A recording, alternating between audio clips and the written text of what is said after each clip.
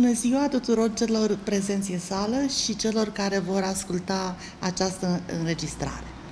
În cadrul proiectului Literatura Română Necanonică, ce își propune să prezinte autori și opere care nu fac parte din programa școlară pentru bacalaureat, vom vorbi astăzi despre Gib I. Mihăescu, care a fost uh, novelist, romancier, dramaturg, uh, gazetar, traducător, un scriitor care a rămas în conștiința publicului larg uh, doar ca autor al romanelor Rusoaica și Dona Alba. Gheorghe Mihăescu, cel ce va semna Gib I. Mihăescu, s-a născut la Drăgășani, județul Vâlcea, pe 23 aprilie 1984, deci s-a născut chiar de Sfântul Gheorghe. Tatăl, avocatul Ion Mihăescu, era urmaș al lui Mihai Prădescu Stegaru, pandur și purtător de drapel în oastea lui Tudor Vladimirescu. În amintirea străbunicului patern, scriitorul folosește, la începutul activității sale publicistice, pseudonimul Gheorghe Stegaru. Mama se numea Ioana, născută Ceaușescu. Uh, îl cunoaște pe, pe Ion Mihăescu uh, atunci când vine să o viziteze pe mama sa la uh, mănăstire, se făcuse călugăriță, era rodul unei iubiri neacceptate de societate la vremea respectivă și copila de 15 ani l-a impresionat așa de mult pe avocatul Ion Mihăescu încât în două luni de zile s-au și căsătorit. Uh, au avut 12 copii, dar uh, aproape jumătate au murit înainte să împlinească 2 ani și nici ceilalți n-au trăit uh, foarte mult. Gheorghe este cel de-al șaselea uh, copil din cei 12 ai familiei Mihăescu. Școala primară a urmat-o la Drăgășan.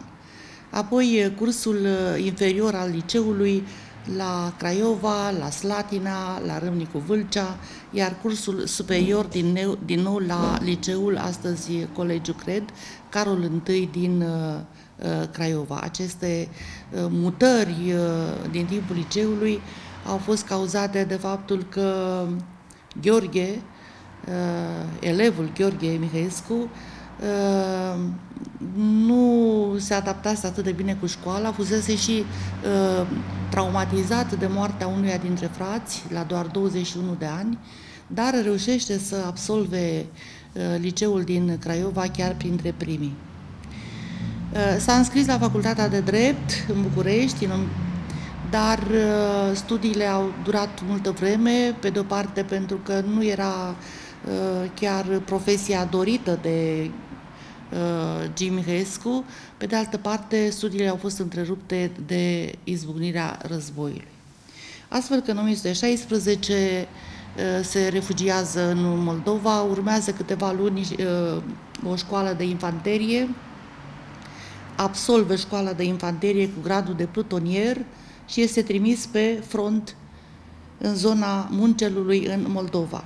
Este avansat sublocotenent și participă efectiv la uh, celebrele lupte de la Mărășești, Mărești-Oituz, este și decorat.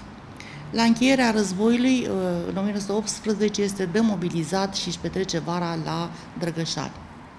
O bună parte din scrierile sale au fost inspirate din uh, experiența de război. În 1918 revine în București să-și continue studiile universitare.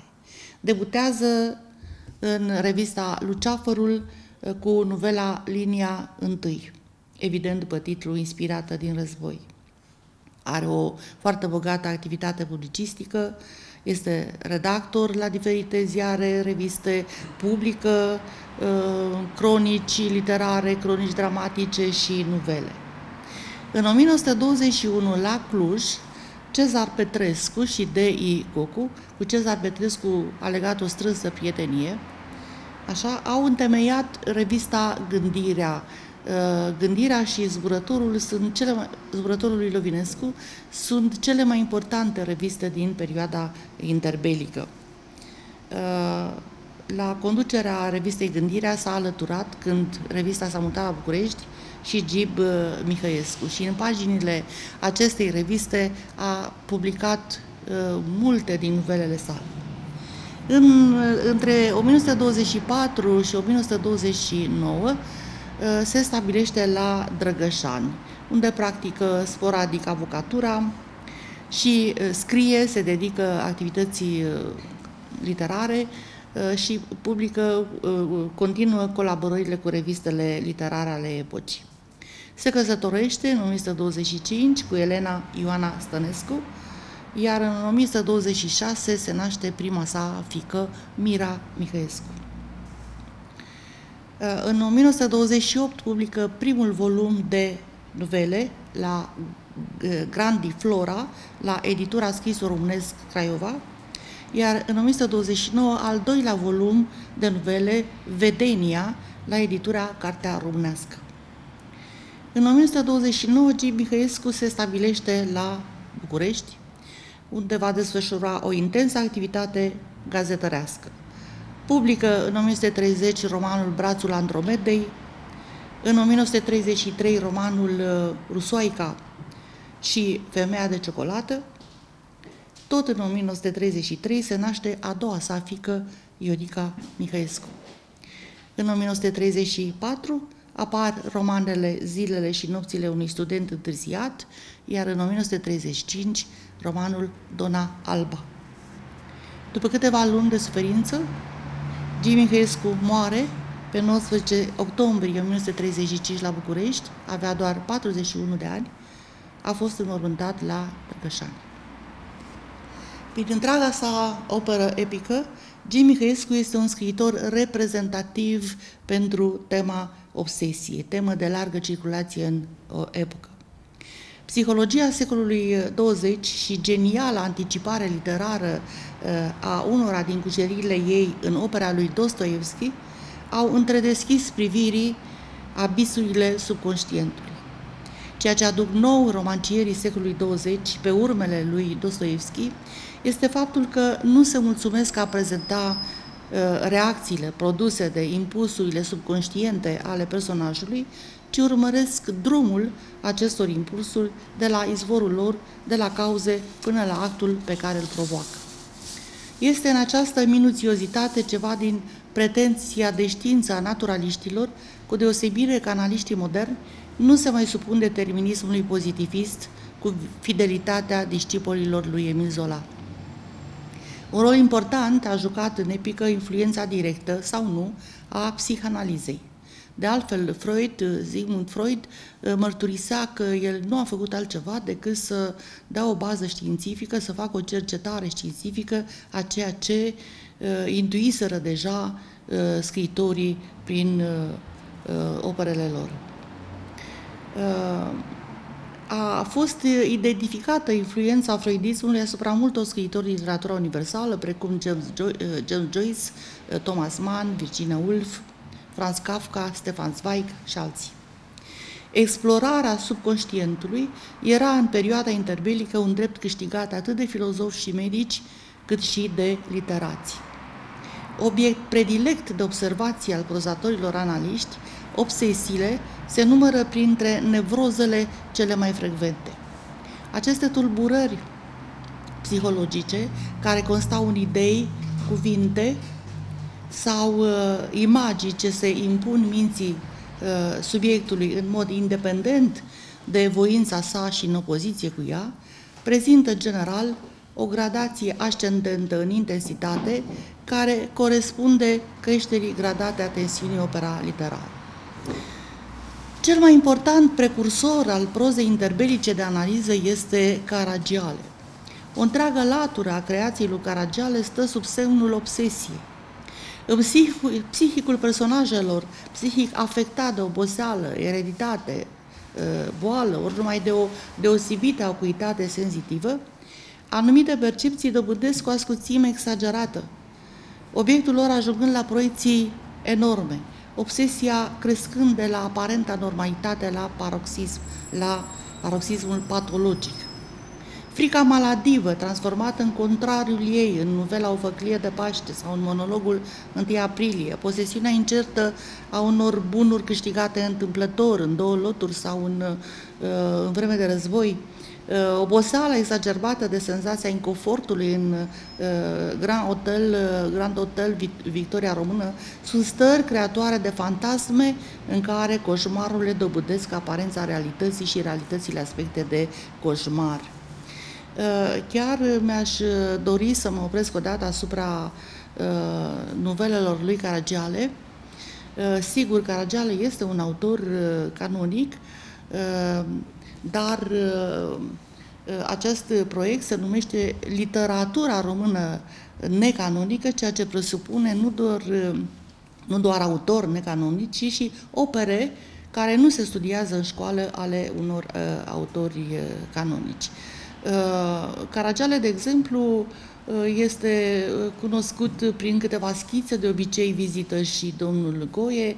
Mai de mult parcă am văzut două loturi, asta în școala gimnazială, iar în liceu copiii nu cunosc decât o scrisoare pierdută, deci comedia. N-am văzut până acum și în, această, în altă ordine de idei, din nefericire, Ehm, sunt profesori care ignoră faptul că eh, autorii sunt canonici, dar elevul, profesorul eh, au libertatea de a alege orice operă.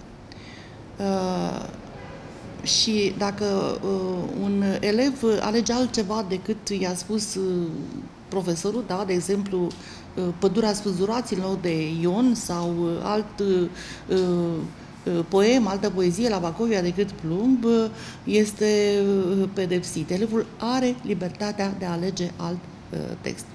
Și, din nefericire, cei mai mulți au impresia că Rebreanu este doar autor al romanului Ion, că Marin Preda este doar autor al romanului Moromeții, ceea ce a adus și necazuri multor elevi într-un an când, la bacalaureat, s-a cerut uh, uh, drama intelectualului într-un roman uh, pe care l-au citit. Și în paranteză erau scrise trei nume. Rebreanu, uh, Moromeții, uh, Marin Preda și Camil Petrescu. Cei mai mulți dintre copii, dacă au văzut Rebreanu, au zis, dacă e Rebreanu, e Ion. Sau, dacă au văzut Marin Preda, dacă e Marin Preda, este Moromeții, neștiind că sunt autori uh, cu mai multe romane. Ce intele- despre ce intelectual vorbim în romanul Ion? Da, vorbim despre învățătorul Herdela, dar despre familia Herdela în eseurile lor erau două, trei rânduri, nu puteau să scrie un eseu întreg. Da? Uh, Ilie Moromete este un țăran uh, inteligent, dar nu este un intelectual. Da? Și au picat bacul la greu. Pentru că, uh, iată, uite, era Rebreanu, dar aveau pădurea spânzuraților. Era Marin Preda, dar aveau cel mai bine dintre pământeni, da? Doar Camil Petrescu. Uh, deci nu este bine să forțăm uh, elevii cu un anumit titlu. Da? Copiii nu știu decât că Bacovia a scris plumb. Alt text nu mai știu. Blaga, eu nu Silvescu Corola. Arghezii Testament. Bun, ne întoarcem. Uh, după cum se știe, Rebreanu a fost de două ori ctitor al romanului românesc, odată în 1920, romanul social, Ion, și în 1922, Pădurea spânzuraților, uh, în care pentru prima oară se acordă în romanul românesc un rol atât de important subconștientului, ca determinant al acțiunilor unui personaj.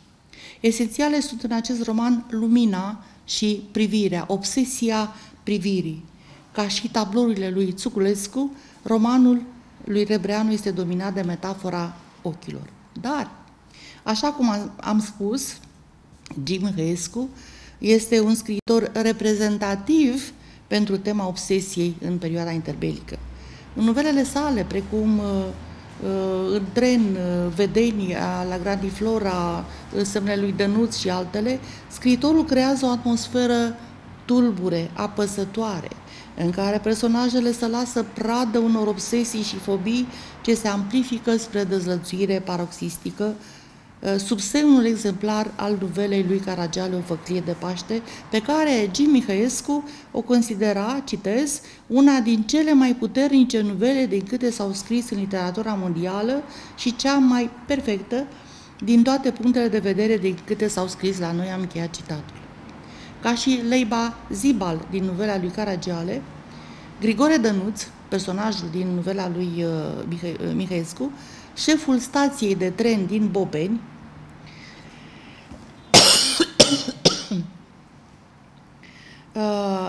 este un caz patologic.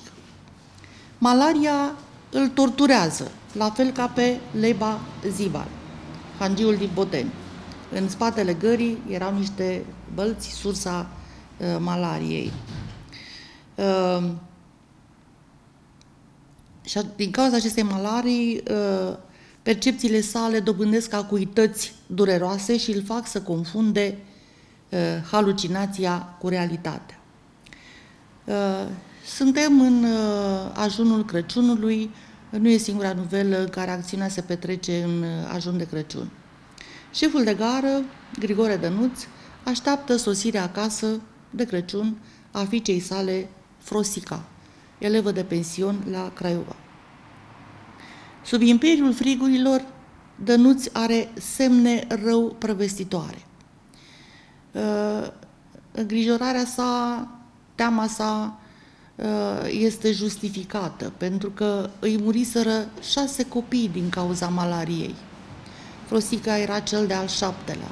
Reușise să scape pentru că, plecând la Craiova, se îndepărtase de uh, centrul epidemiei.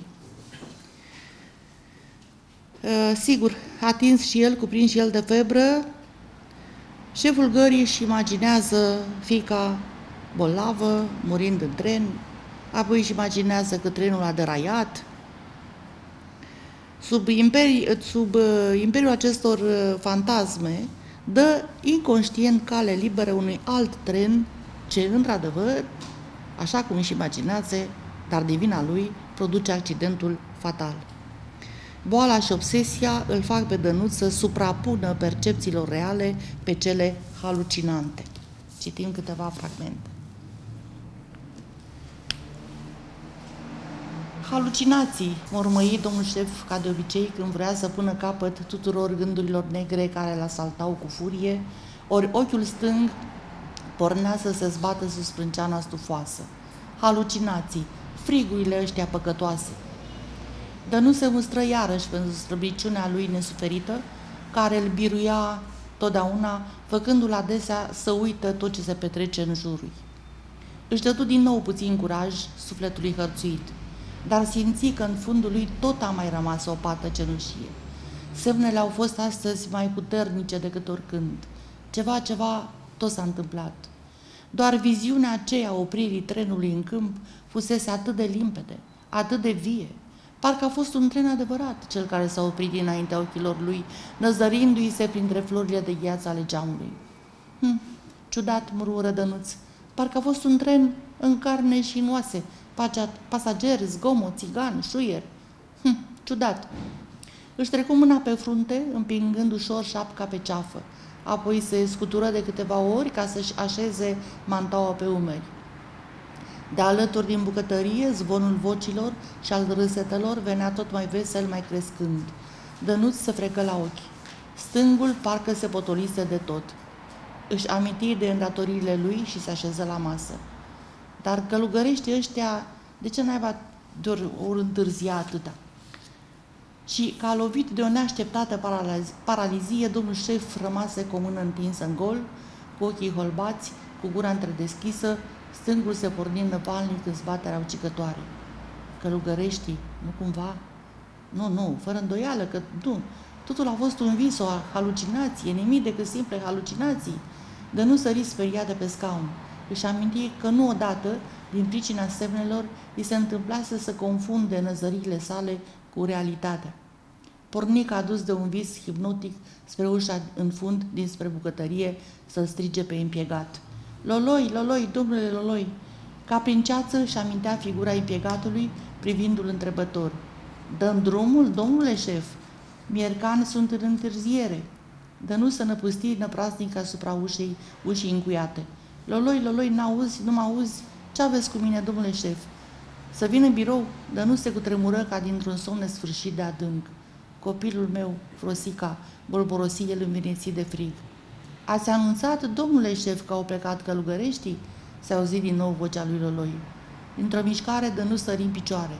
Vocea împiegatului îi măsurase dintr-o dată în gând mărimea răspunderii. Ați anunțat că a plecat călugăreștii, domnule șef, să nu cumva... Am anunțat, minți Dănuț, fără să-și dea seama. Am anunțat, repetă el. Dumneata n-ai văzut că am anunțat. Și ghearele îi se înfipseră nemiloase în bergata din care ieșeau minciuni atât de nerușinate. Omorătorule își șoptea scrâșnind din dinți, amenințător, ca în fața unui dijman surprins în plină nelegiuire. Călăule, ți-ai omorât fata. Și de acolo, în depărtarea câmpului înzăpezit, îi se păru că aude bubuitura fără de seamă a catastrofei. Îi venit odată să o ia la goană, nebună de-a lungul liniei, spre dezastrul care, cine știe, poate în clipa aceasta se petrece în necuprinsul zării. Doamne, sfânta zi de mâine, scapă-mă de năpasta asta, scapă-mi pe Frosica, începură să-i bâlbuie buzele. În novela Vedenia, capitanul Naicu uh, are o nevastă tânără, frumoasă și cu mult mai tânără decât uh, el, cam peste 20 de ani. Când a trebuit să plece în război, soția l-a rugat stăruitor să-l schimbe pe soldatul Ion, ordonanța Ion, care era mai în vârstă și mai firav, cu Anton, un soldat voinic și tânăr, pentru a o proteja. Când Naicu a încuvințat această schimbare, soția s-a manifestat cu o bucurie care i-a dat de gândit, trezindu-i gelozia. Dar motivul bucuriei Aureliei era cu totul altul decât cel suspectat de capitan. La Aurelia venise mama lui Anton, o bătrână cu înfățișare uh, de vrăjitoare, care a speriat-o pe Aurelia și a amenințat-o uh, că îl va blestema pe soțul ei dacă îl trimite pe Anton pe front. Astfel că uh, Aurelia era bucuroasă pentru că ea credea că îl scăpase pe Naicu, pe soțul ei, de blestemele bătrânei.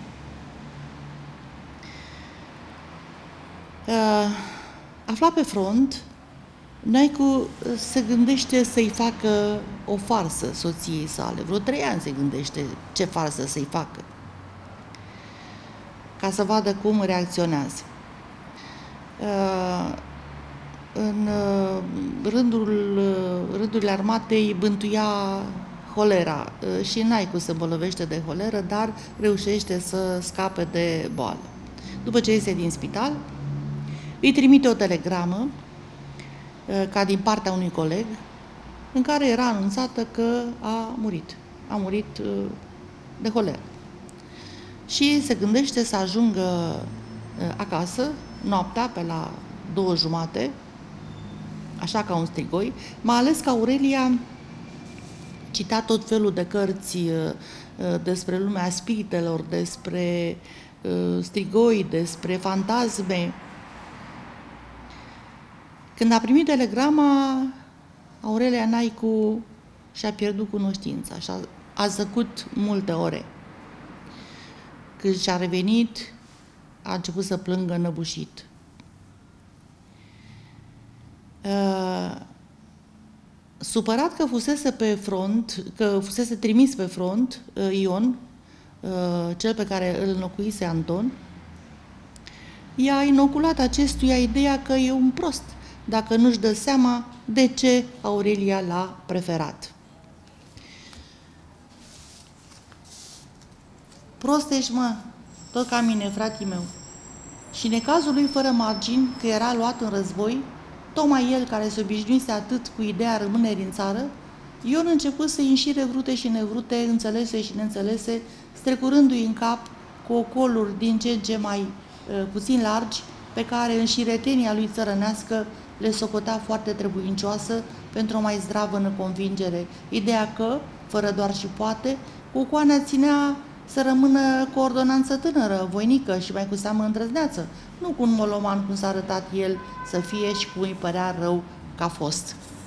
Astfel că ă, tot timpul cât ă, ă, Aurelia, doamna Naicu, zăcuse, soldatul Anton început să o privească cu lăcomie. Rămas singur, mormanul de carne la început șovăi, dar făptura stăpânei, atât de plăpândă pentru dânsul, se aprindea ca o flacră tot mai vie, umplându-i tot ce putea fi imaginație în capul enorm. Luarea aminte pe care Aurelia i-o arăta, grija de nu-i lipsește ceva, glasul prietenos în întrebări, în porunci, în vorbele de toate zilele, sfârșire al lumina pe deplin. Avea dreptate, Ion. Unde s-a mai văzut atâta duc de blândețe la o, o căpitaneasă? Iată, uite cum gesturile uh, de omenie pot să fie înțelese de cineva cu mare la trup și fără minte. E tinerețea Anton Flăcăule, care cată tot tinerețe. Odată în luca aceasta cășunată, nimic nu mai putea dezrădăcina, căci în strâmta încăpere a creierului nu mai era loc și pentru vreun alt gând precupăritor. Totuși nimic n-ar fi putut să-l hotărască a fi mai îndrăzneț și altceva decât cu uh, ochii rotiți spre dânsa mai mult pe furiș. Ești ea una și bună.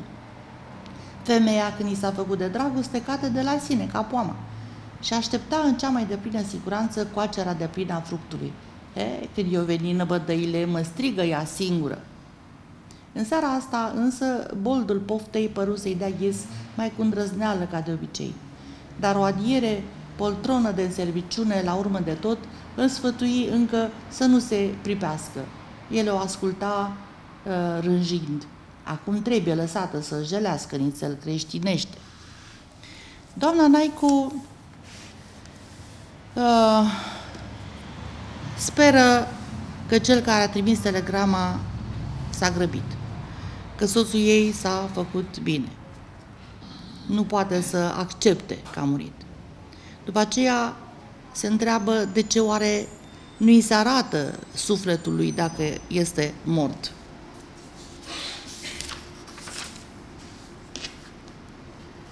Sau dacă e mort și când măsorul gândului se opri aici, își simți sufletul inundat de o intensă lumină, ca și când tavanul ar fi crăpat două părți și prin poarta deschisă a cerului ar fi văzut tronul dumnezeesc. Dacă e mort, de ce nu vine sufletul lui să o scape din aceste neliniști, ca în cărțile cu minuni și taine cu care umpluse podul? Hai, vino și tu, e atât de bine aici unde sunt eu. Uh, își imaginează că îi spune soțul. Și atunci durerea ei, pe care o simțea tare ca o piatră ascunsă în dosul acestor gânduri, s-ar muia deodată, s-ar topi ca ceara unei lumânări. În sânge iar alerga numai flacăra veselă a bucuriei, căci Sfântul Duh iar arăta, ca și lui Pavel, călătorind spre Damasc, minunea adevărului etern și singur adevărat. Însă nu s-ar grăbi să urmeze de îndată pe domnul capitan, ar mai zăbovi câteva zile pentru a lăsa timp și bietei țărâne de trup să se dea bucuriei pentru zdrobitoarea bucuria sufletului. Ce uimitoare și totală schimbare din jala cea mai cruntă la bucuria cea mai sfârșitoare. De ce nu vine sufletul lui? Și îl închipui mai întâi ceva abstract, o suflare ușoară, adin prin cameră, o formă străvezie, înfiripindu-se alături de dânsa, șoptindu-i cuvinte dulci și armonioase ca o muzică sau cu tâlc adânc, cum răspund spiritele de obicei prin masa cu paharul mișcător. Pe urmă, și imagina din ce, ce mai concret, așa cum era el când trăia. Chiar în uniformă, însă, fără viață, palid, cu ochii fixi, goi de expresie sticloși. Icoana aceasta o înspăimânta. Voi să o alunge, dar gândul nu-i dădea, nu-i dădea acum pace. Desigur, avea să-i apară ca pe patul morții, asemenea unuia care se stinge de holeră. cu ochii în fundul capului, cu două găuri negre, cu obraz cofâlciți, cu buze subte, cu pântecele scobit, cu picioarele lungi și aduse, cu degetele încârcite. Simți trupul muiat în sudoare fierbinte și în sudoare înghețată. În locul luminii dumnezeiești, senzația pustiului o necă cu totul. Rămăsese încremenită pe marginea patului, strânsă ghem, temându-se să facă cea mai mică mișcare, cu ochii țintiți într-un gol al odăi în care părea că stăruie încă vedenia înspăimântătoare a holericului. Pe urmă, o idee mântuitoare o întări. Își aduse aminte de Anton, soldatul. Nu era singură. Blășganul acela uriaș o va apăra de toate iazmele iadului. I-a făcut atâta bine și în gândul văzu uriașul cu pumnii pietroși sărindu-i în ajutor. Dar o întristă de tot imaginea ce îi se năzări atunci – pe Anton alungând umbra bărbatului. Doamne, ce prostii, voi să zică tare, dar abia se auzi printre buze ca să alunge vălmășagul haotic și deznădăjduit de gânduri. Doamne, dar oricum va fi să-i apară bărbatul, nu va striga după ajutor, nu-l va izgoni, numai să vie umbre aceea și ea va găsi destul curaj ca să întâmpine, întâmpine minunea adevărul.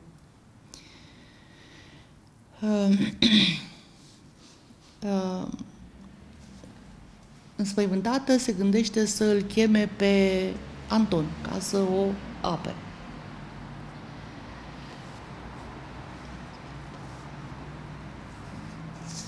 Trebuia să cheme ordonanța. Se sprijini în coate pe perin și ochii căutară fereastra.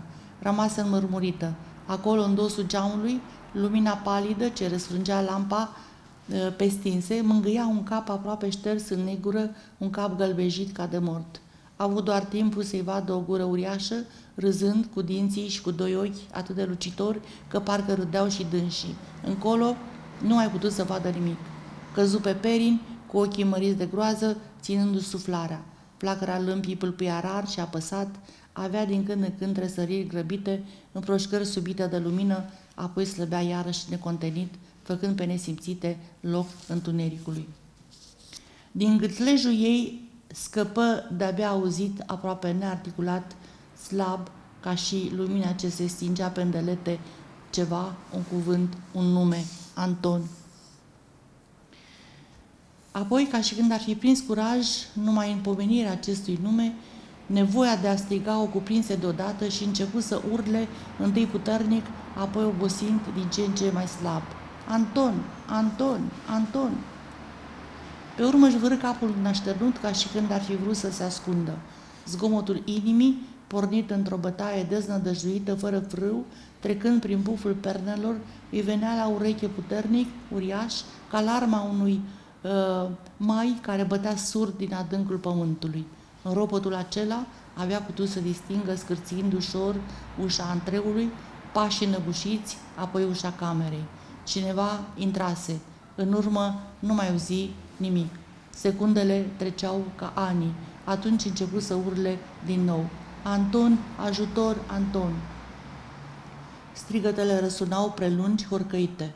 Drept răspuns, deci îl strigă pe Anton, care înțelege greșit uh, strigătul ei. Drept răspuns, două mâini puternice o apucare de umeri, o întoarse cu fața în sus. Ea închisese ochii și acum strângea tot mai tare ploapele, apăsându-le una într-alta, parcă ar fi vrut să le contopească. Și glasul îi horcăia înainte, fără înțeles, ca un gramofon neoprit.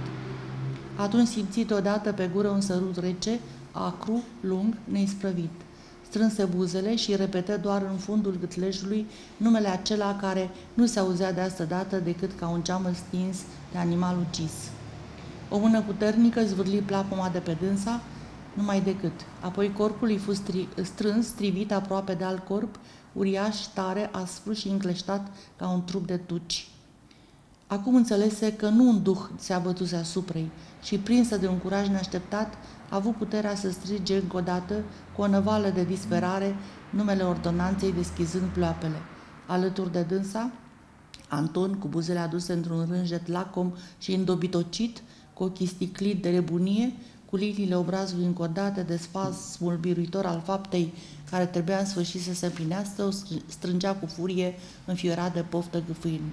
Îl văzut într-o singură deschidere de ploape, a plecat deasupra ei cu dinții lați și cu părul tuns scurt, începând jos de tot pe fruntea gustă de un deget. Buzele groase și lipicioase se târâră pe pielea fină ca o atingere de melc. Brațele musculoase aveau puteri de minghine. Răsuflarea încinsă o pălea în obraz ca o dogoare. A avut un gest de surpriză, apoi de dezgust și îndrăzni o clipă să reziste. Dar omul era prea zdravăn și în strânsoarea lui, împotrivirea se topi ca un țipă slab, neputincios, scârbită, goală, de sufletul prăbușit, deodată într-o adâncime necunoscută, într-o beznă fără fund.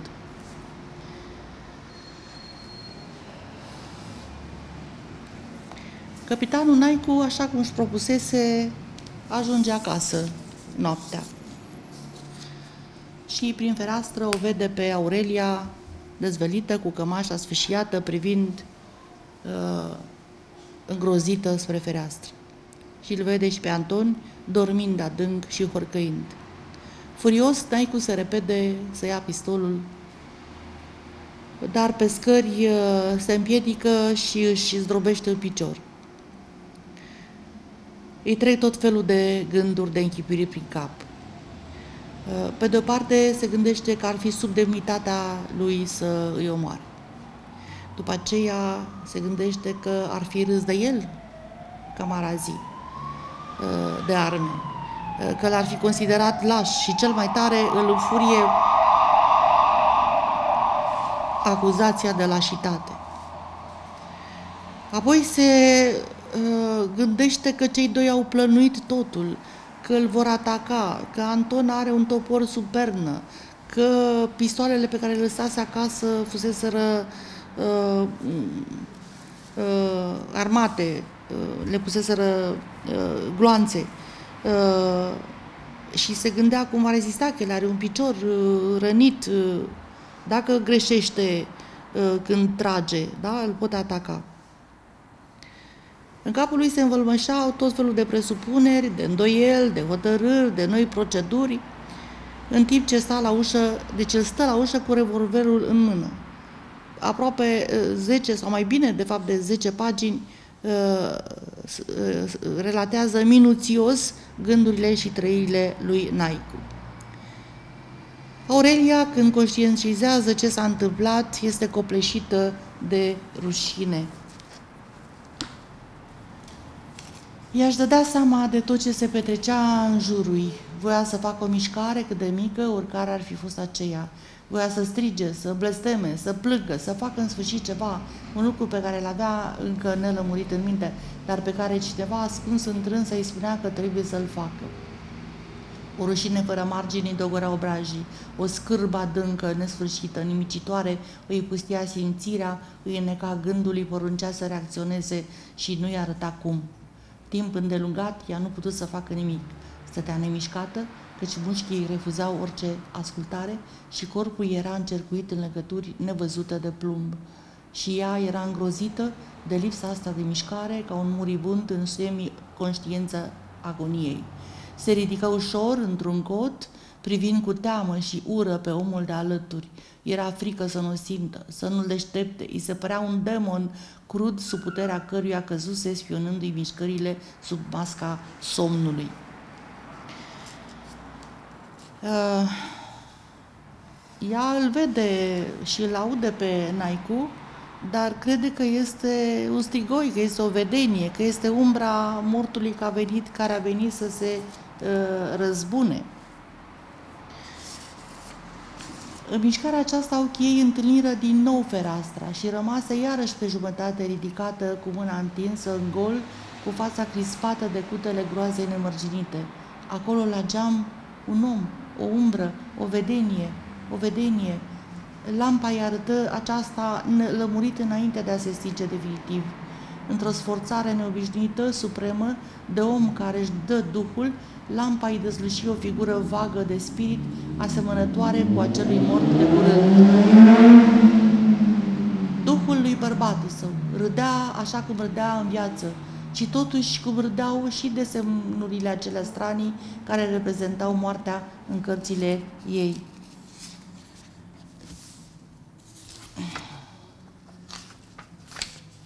Era atât de profundă noaptea aceasta și încolo, în afară de ea, nimic nu mai era dincolo de ușă, dincolo de ferestre, dincolo de ziduri. Curtea, câmpul, potcovăria, orașul, tot dispăruseră. Peste tot era o mare de întuneric, de valuri negre, o mare agitată, mută și rece, peste care, în văzduh de neguri, plutea acel înger al morții. Și marea creștea cu furie, apele ei negre țișdeau prin crăpăturile ușii, acopereau podeaua, băteau în marginea patului ca într-un țărm, vreau să o smulgă ca pe o sfărmătură de naufragiu, să o ducă departe, să o piardă în frământarea spumelor întunecate. Cine putea ști pedeapsa ce pregătea Duhul de afară?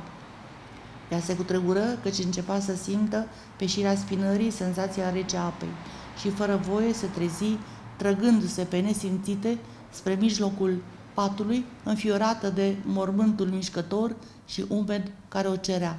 Se retrăgea ușor, temând cel mai mic zgomot al somierei, înnebunită, necontenit, tot mai mult spre omul acela, împinsă în, într-una către dânsul, de instinctul care adună la oaltă în fața năpastei apropiate pe cei deopotrivă amenințați. Uh, urmărită de fantoma soțului, uh, spaima, reacția sufletească primară, dar irezistibilă, o îndemnase pe a, uh, doamna Naicu să cheme ordonanța care abuzează de ea.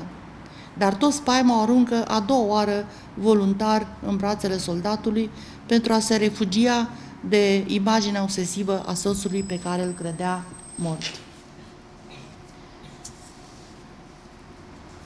Și în înălțuirea lor, ei nu vedeau vedenia amenințătoare care apăruse în cadrul ferestrei înălbite, pregătind cu mișcări socotite grozava răzbunare. La bună reîntâlnire!